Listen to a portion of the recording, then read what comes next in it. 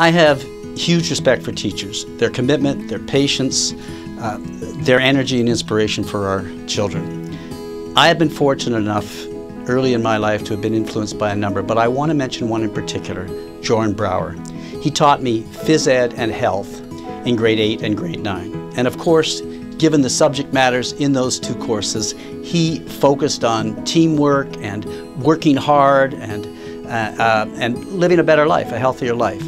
But in addition to that, he always raised questions of right and wrong, moral, ethical issues. How do you create a better society? Always made us, uh, as students, question. Uh, later in my life, I became a friend. Uh, I've been a lifelong friend of, of. To this day, we still argue about right and wrong and how do you make society and the world better. Jorn Brauer has had a huge influence in my life, and I am very grateful to him.